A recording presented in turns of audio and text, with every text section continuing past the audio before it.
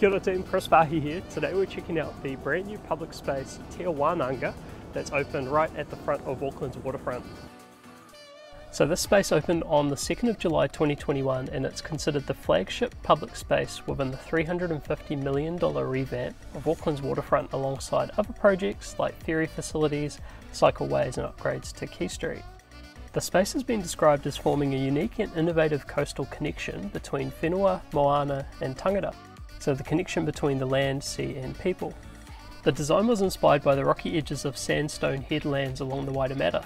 The space itself is an elevated tidal shelf over the water and features space for people, like seating, but also space for nature with features like the grove of pohutukawa trees and decks for mussels.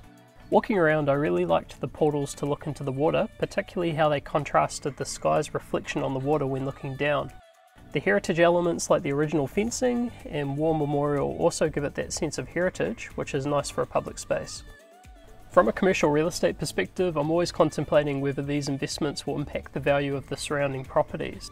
I was thinking the Western Kiosk building would be uniquely placed to capitalise with a boutique hole in the wall cafe or ice creamery, but unfortunately that site's already earmarked for a marine education hub, so maybe not.